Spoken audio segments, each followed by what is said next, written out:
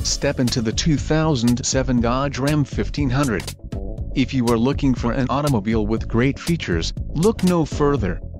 This vehicle comes with a reliable 8-cylinder engine, connected to a smooth shifting automatic transmission.